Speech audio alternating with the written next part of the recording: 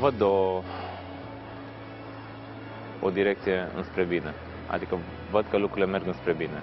Atât, nu mă refer aici la politică, ci în mediul de business. Oamenii încep să, să gândească pe termen mediu și lung. Oamenii încep să facă investiții în angajați, să, să delege, să uh, îi trimite la cursuri. Încă lipsește visul acela de țară. Nu știu care e care e acel ceva pentru care oamenii rămân. Nu știu dacă politicienii trebuie să-l dea sau noi fiecare să construim ceva împreună. Sunt încrezător și uh, plin de speranță. Văd oameni care încep să gândească pentru binele altora, nu doar pentru binele lor.